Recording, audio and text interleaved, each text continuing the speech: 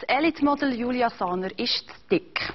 Das behauptet zumindest ihre Agentur. Was lächerlich mal tönen, ist in der Modelwelt knallharte Realität. Die schöne Bernerin hat sich während der Maturprüfungen mehr auf das Lehren als auf die Ernährung konzentriert. Im September will das Topmodel die Pariser Laufsteg erobern und muss jetzt ihren Körper wieder auf Modelmasse trimmen.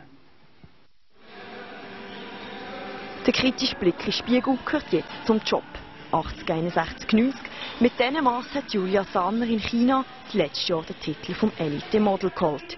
Jetzt sind es ein paar Zentimeter mehr. Darum trainiert Julia Sanner täglich.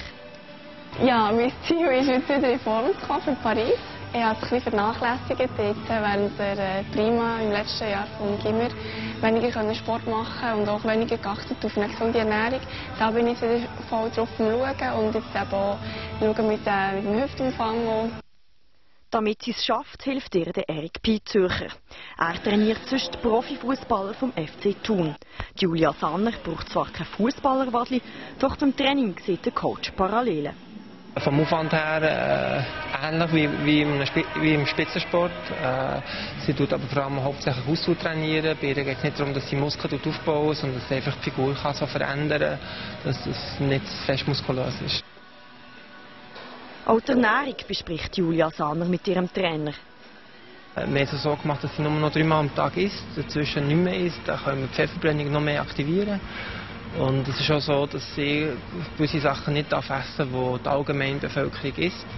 Aber Opfer bringen ist nicht Opfer sein. Kohlenhydrate wie Pasta und Reis sind tabu. Auch Süßigkeiten gibt es keine mehr. Doch Julia Sahner sieht das als Teil des Jobs. Da geht es wirklich eigentlich vollberuflich ins Model und beim Model äh, ist es so, dass halt eben das, äh, das Kapital ist, der Körper. Und da ist natürlich klar, dass man jetzt äh, ähm, auch Druck verspürt, gewissen, nicht nur von der Agentur, sondern allgemein vom ganzen Business, wo man ja sieht, ja Konkurrenz, wie schlank und rank sie sind.